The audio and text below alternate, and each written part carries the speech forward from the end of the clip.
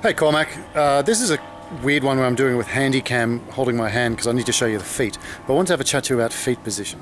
So what I'm going to do is I'm going to tilt it down and you're going to be looking at my own feet while I'm talking into the, uh, into the camera. Okay, so we'll see how this works. Okay, so the feet position that I always use is I never go deep. Okay? Reason for that is my hip locks. Now, when you start, you're told that you take a step in. So that um, is one of the reasons why it's not as disadvantageous. But also with your feet there, you have to spin it to go forward.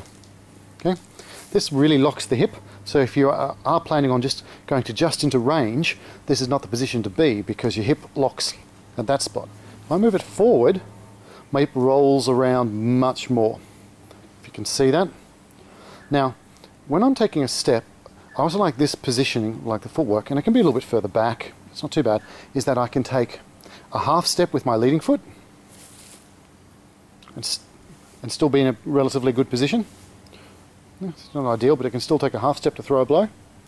Or I can take a shuffle. Or I can then take the full step. As required. That makes sense. So I practice fighting at this stance and this stance. Both of these ones allow a fairly good degree of hip motion. Yeah, that makes sense? So that's the stance I use. So I practice like this and practice like that. So we're shoulder width apart, give take a little bit. It's about finding that comfortability. But what I don't want to see is I want to see one of the feet further back and I don't want to see this foot pointed sideways. Tilt your, tilt your leg in. Yeah?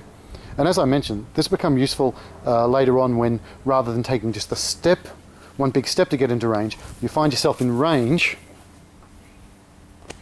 but not actually uh, taking a step to do so. You're not moving forward. So you're just going to apply pressure.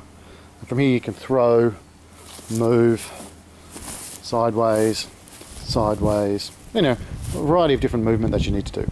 Hope that makes sense.